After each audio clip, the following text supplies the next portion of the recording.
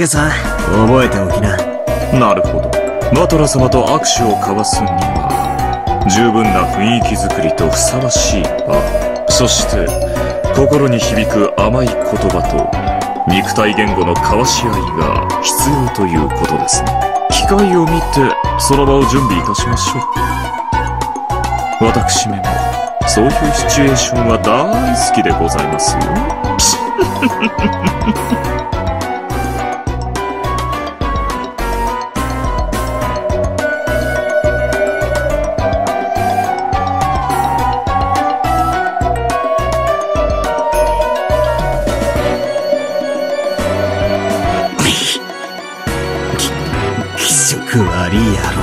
なるほど。レアとの執事にぴったりのやつだ。お褒めの言葉を賜りまして光栄です。私は紅茶には自信がございますのでティータイムを楽しみにしていらしてくださいね。クッキーを焼くのが趣味でございますのでお茶菓子にもこうご期待をお願いいたします。さすがは同性同士だな。打ち解け合うのが実に早い焼けるぞこれはこれは、お嬢様に嫉妬させてしまい、申し訳ございませんでした。お嬢様のお客人を、こっそりつまみ食いなどいたしませんよ。それでは、これより他の家具どもに、再び家具頭に着任いたしましたことを挨拶してまいります。しばしの暇をお許しください。うん。権限しているのは、雑用のヤギどもと、儀式役の七姉妹だけ。挨拶も楽に終わろう。おや、あの賑やかな七姉妹たちですか。やんちゃ娘たちも、少しはおしとやかに成長したでしょうか。あれがおしとやかだってんなら、俺はおしとやかの定義を疑うぜ。そうでございますか。七姉妹どもとは、もうお遊びになられたようですね。その表情から察するに、どうやら相変わらずのやんちゃぶりのようだ。ベアトリーチェ様にお仕えするにふさわしい振る舞いをするようにといつも言っているのに困った子たちだ。その意味でなら安心しろよ。実に主にぴったりなふさわしい振る舞いだぜ。そなたも言うようになったな。しかし会話は相手を認めるということわらわとの雑談に応じるようになったということはそなたがわらわの存在を徐々に認め始めている証拠。たとえお天道様が西から登ることがあろうとも絶対の絶対絶対お前を魔女だと認定などしねえからな。泣いて俺の靴にキスしたらもうちょい前向きに検討してやってもいいぜ。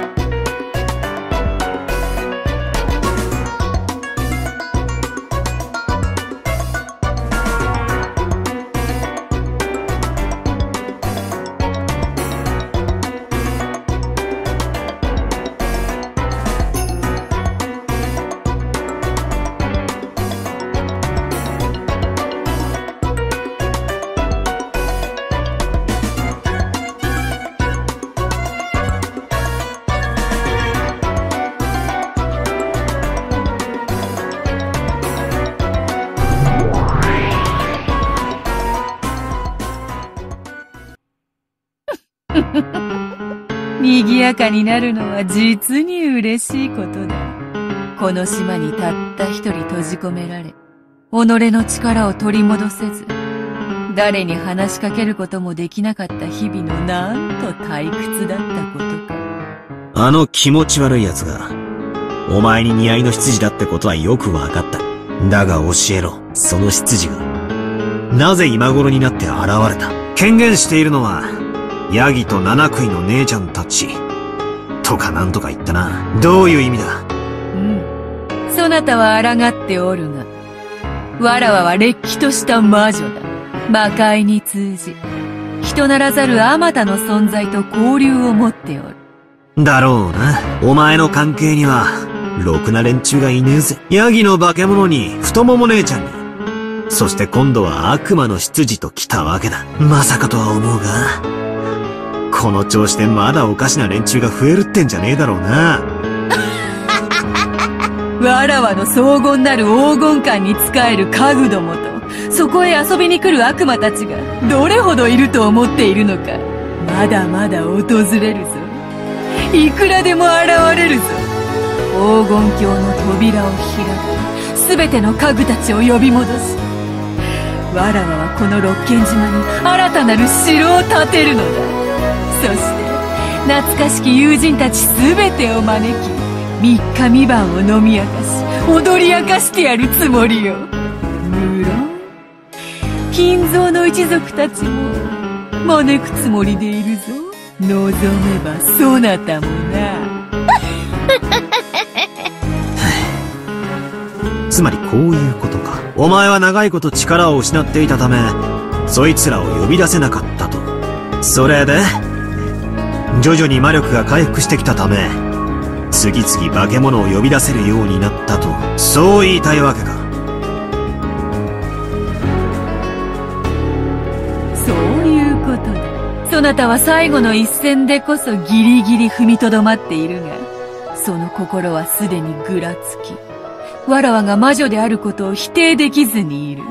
その心のぐらつきが、わらわの魔女としての力を少しずつ蘇らせているのだ。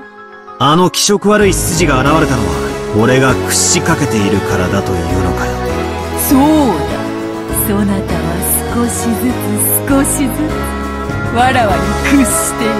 前回のゲームでは、あれほどの屈辱を受けてまで、わらわに屈服したではないか。そなたの背中は、わらわの足を投げ出すには本当に良いものだったぞ。ち、畜生。俺は、お前を認めさえしなければ、現状は維持できると思っていた。だがそれは、どうやら誤解だったらしいな。そうだ。そなたが屈服に近づけば近づくほど、ゲームはわらわに有利に傾いていく。チェスだってそうである。互いのキングを詰め合う過程で、わらわたちは様々な駒を取り合っている。確かにわらわは、未だそなたのキングを追い詰めてはおらぬ。しかしそなたは、キングを逃すのに精一杯で、いくつもの大駒を失い、莫大なアドバンテージを失っておるわ。後の展開がわらわに有利に傾くのは、当然のことよ。そなたはおそらくこれからも、死に物狂いでわらわのチェックメイトだけからは逃れるだろう。だが、その間にもわらわは、そなたの大駒を次々に奪っていく。やがてはキング以外の全てを失い、どのような形でも逃れることの叶わぬ本当のチェックメイトを受けることになろう。前回そなたは、気鋭を吐いたな。わらわを永遠に認めぬ以上、これはわらわを苛む永遠の拷問だなどと。永遠を語るのは、無限の域に達した魔女だけよ。そなたにその資格など、初めからないわ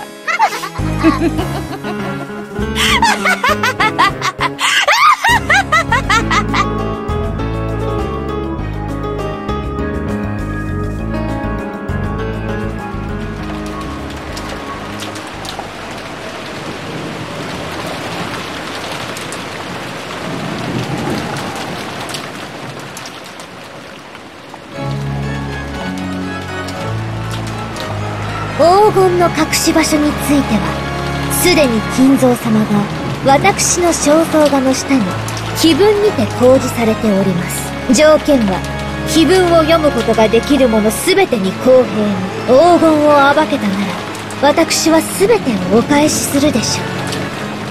それではどうか今宵を、金蔵様との知恵比べにて、存分にお楽しみくださいませ。今宵が知的かつ、優雅な夜になるよう、心よりお祈りいたしております。黄金のベアトリーチェ。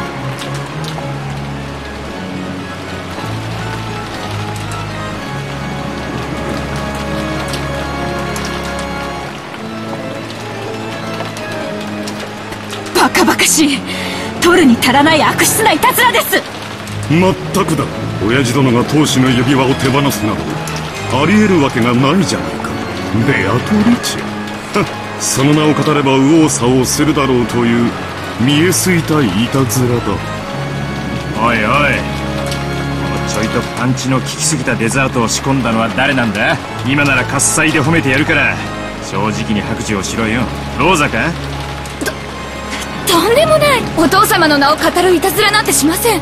じゃあ姉貴か？兄貴か？私？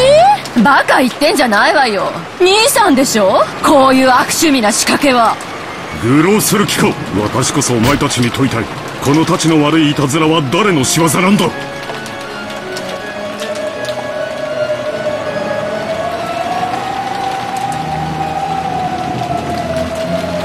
お父様から財産の全権を任せられたと称する謎の人物からの手紙。そして今日がそれを話し合うための親族会議であることを考えるといたずらだと決めつけるのも早計だと思うわ。わからんで。まさにお父さんの悪趣味ないたずらかもしれへん。自分抜きで遺産分配の話をまとめようとしているわしらをちょいと驚かせたくて仕組んだことかもしれん。こいつを仕組んだのが親父だってんなら今。アリアちゃんが読み上げた内容は冗談ってわけにはならねえぞそうね。文面通りに解釈するなら。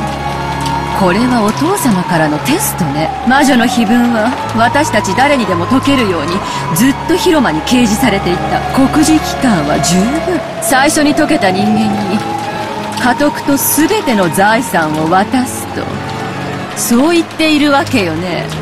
ほら私たちの魔法。そんなバカな話はありません。後宮家の次期当主が夫であることは何ら揺るがない事実です。それを揺るがすのがこの手紙じゃない。この手紙はお父様に財産の全てを全権委任された人物からのメッセージなのよ。もはや兄さんの当主継承権は白紙に戻ったわ。魔女の碑文を解いた者がベアトリーチェの黄金を見つけた者が後宮家の次の当主になるのよ。バカバカしいその手紙のざれ言を信用するのかねその風浪が本物だとでも信用などできるものかならお父様に直接話を聞いてみましょうよ。もう機嫌が悪いからとか体調が悪いとかそんな次元じゃないわよ。この手紙はお父様の代理人であることを風浪でちゃんと示してる。それを疑うなら兄さんが証明しなさいよ。この手紙がお父様の意志のものではないって。よかろう。お前の言う通りだもう親父の機嫌不機嫌の問題ではない。上へ行き直接問いたらそうじゃないか。そうしようぜ。親父に直接聞こう。親父は親父だぜどうしてこんな回りくどい真似を。あそこが親父らしいんだがな。お父様の手紙だということを前提に話を続けてもいいのかしら？バカローザお父様の手紙に決まってんでしょ?あの手紙はお父様のなのよ次期当主を私たち4人の中から選ぶための公平なチャンスに決まってるじゃない!バカ死ね!この役立たず!ほんと。ローザって頭悪いわ。へそでも噛んで死んじゃえば。ごごめんなさいそうよね。ごめんなさい。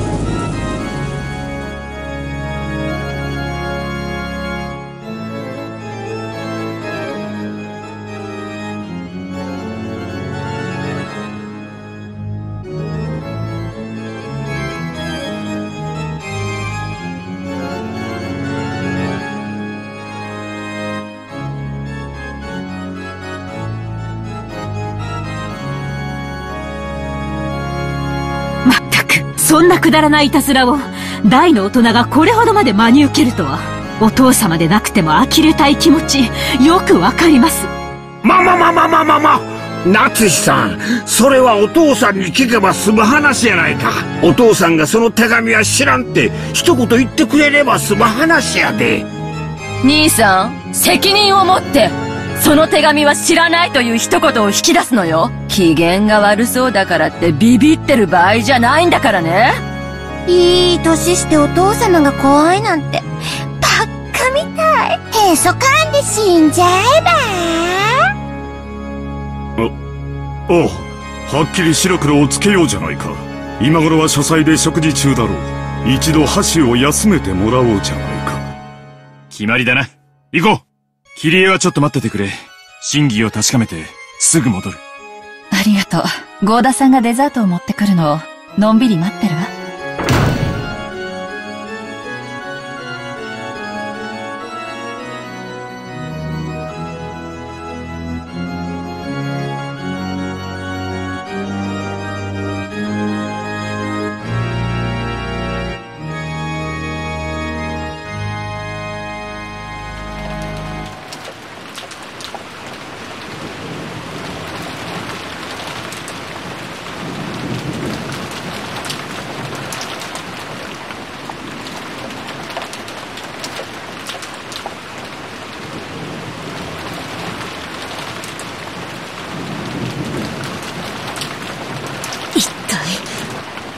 何事だってんだよ。わけわかんねえぜ。どいつもこいつもクソったれだ。そんな兄さんが欲しいかよ。みんな、これは、親たちの問題なんだ。僕たちには関係ない。だから気にしちゃダメだ。そうは言ってもよ。ああもうあからさまに。見損なったぜ。欲の皮が突っ張ってやがる。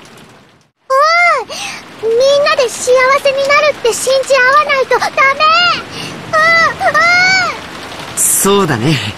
僕たちはみんなで約束したもんね。ほら、バトラ君もジェシカちゃんも。最悪の気分だぜ。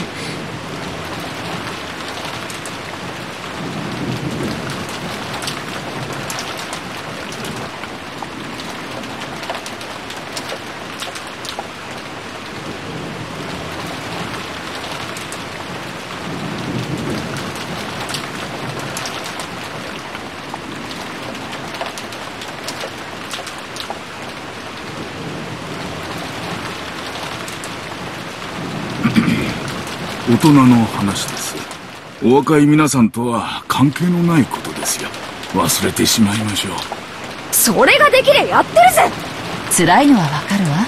でも、今は忘れてあげて。あなたたちの将来を少しでも豊かにするため、みんなの両親は必死で戦ってるのよ。そして、やがて傷つき帰ってくるお父さんたちを、どうかそんな冷たい目で迎えないであげて。いくらキリエさんの頼みでも、それは難しいぜ。そう割り切れるなら、子供なんてやってねえぜ。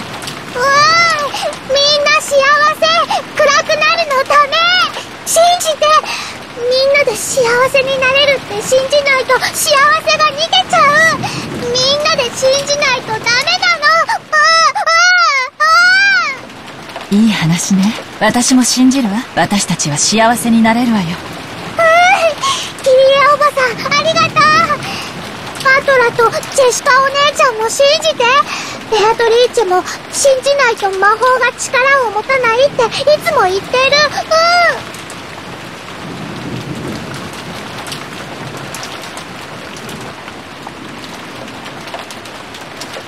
おーキリエおばさんが信じてくれた。あとバトラとジェシカお姉ちゃんが信じないとダメ。二人とも強いもの。すぐに元気になって、そうしてくれるわよ。それより、教えてほしいの。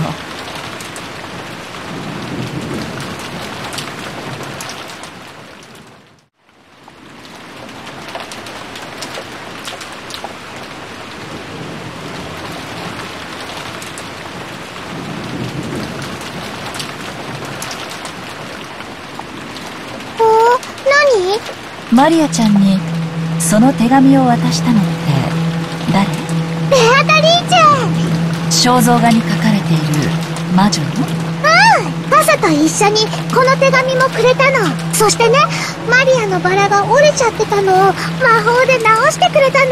ベアトリーチェは何でもできる。すごい魔女なの。詳しく聞かせてくれるかしら。